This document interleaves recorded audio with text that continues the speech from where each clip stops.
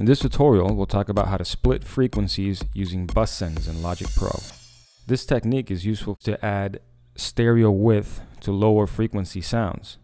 Bus sends are used to send a copy of the original signal into an aux track, which you can then use to further mix the signal into your session. To demonstrate, I've loaded a Logic Pro template from beatelite.com. This one's called Prog House Volume 1, and in it we have a mid bass line.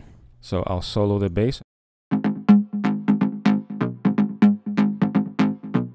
Can hear how the high end sort of has a left-right feel to it.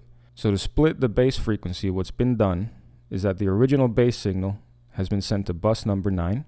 So if we were to bypass this bus send by clicking option click, we'll just hear the original bass sound.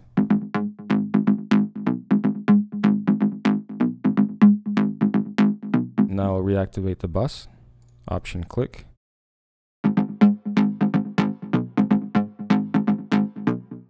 A channel EQ has been added to the first insert of bus number 9.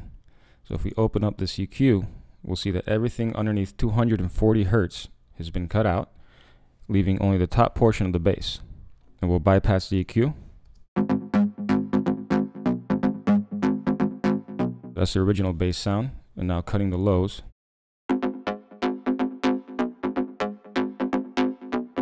After the EQ and distortion, there's a sample delay plugin. Now this is what's adding the stereo width to the high frequencies of the bass line. As you can see, the left channel has been offset a few samples from the right channel, creating a stereo effect. Now if we were to link the left and right, we'd lose that stereo feel. Let's unlink left and right, bring the right delay back to zero.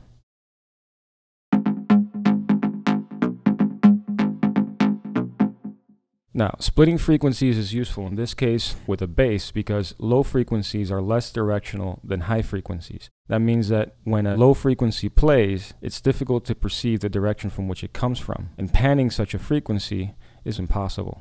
High frequencies, on the other hand, are more directional. Splitting frequencies allows you to process different frequency ranges of the same sound in different ways to create more interesting and dynamic mixes.